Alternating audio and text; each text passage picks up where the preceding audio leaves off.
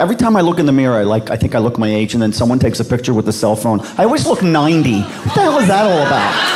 That's how good these phones are. It's awful. Yeah, hey, hey, that ought to turn out. What the hell is that?